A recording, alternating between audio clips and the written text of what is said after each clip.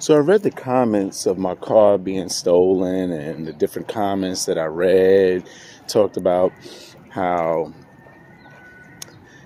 maybe it's the neighborhood I'm living in or like just different comments that really would not have changed the uh, the outcome. The car, for whatever reason, it got stolen.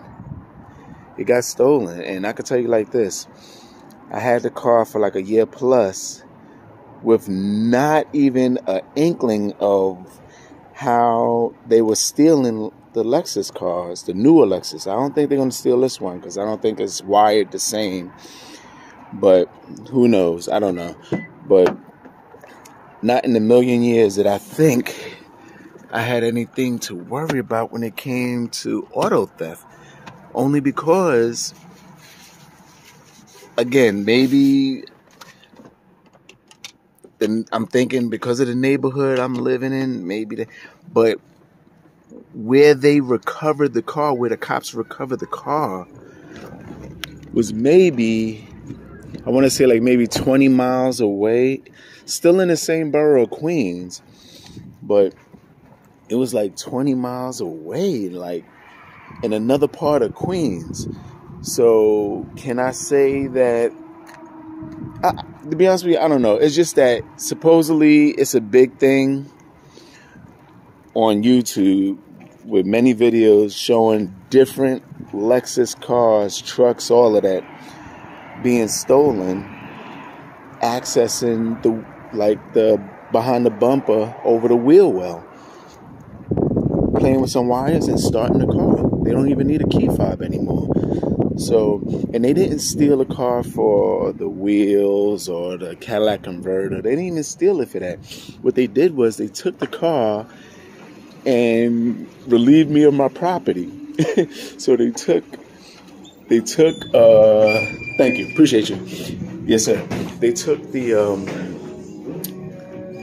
they took my tablet and i had a couple of dollars in the coin pouch they took the money they smoked weed in the car and and um they damaged the bumper and that was the extent of it. I got it back so quick. Maybe they had plans to do something with it. I don't know. But um yeah, the comments were interesting. I thought that, you know, none of the comments that I read talked about how they saw the videos on YouTube and they were familiar with the cars being stolen. None of that. It was more or less maybe where you live is the problem. Um, did I leave the car door open? All the crazy stuff like that. And I'm like, the reason why I feel like I'm secure with that car is because anytime I walk away from the car and the mirrors are folded, it lets me know that the, the car is locked. So when I walk away and I turn back and I see those mirrors folded in, I know everything is good. And where the car was stolen, there was a lady across the street that got her car stolen. But I know she didn't have a Lexus. She had like uh, Beamers and Mercedes out in her on her property.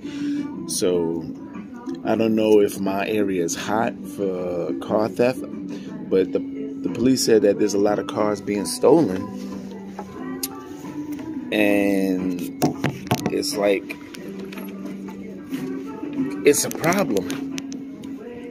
So who knows? All I know is that I am so happy I got my car back because I just looked. I was looking on. I was looking on. Um, I was looking on websites, looking for that exact same car, and they want they want big money for those cars. Not big money in the sense that you know it's new car money. It's like um, it's like the prices haven't dropped And I'm not going, it's like, I feel that if you're going to steal the car and I can't get it back, I'm going to replace it with something bigger and better. So I saw that as a sign that maybe I should get the, um, maybe I should get the GSF this time. Maybe I should go GSF. That was that was my thought. I was gonna go either GSF or RCF. I was gonna go with one of those cars, and I was gonna have to pay more than what I wanted to pay for it. I can tell you that much because I saw the the amounts that they was asking for, and the prices are high. The prices are high. So this video is just in response to the comments that I, I was reading and I just thought it was interesting how the one comment that stuck out about about what I was saying was maybe it's the area I lived in, and I and I thought that was I don't know, but I can tell you like this: you could be in the ritziest town and the price. I mean, your economic status is not contingent on your car being stolen. I can tell you like that, or your car not being stolen. Cars have been stolen out of driveways um, of people that own million dollar homes so, and I don't, definitely, I don't own a million dollar home. So, I don't know. Like, nah. The area you live in and all this other stuff, I can't see it. But anyway, um, I'm glad I got the car back. I'm putting it in shop it's going to take $1,200 to restore it back to new.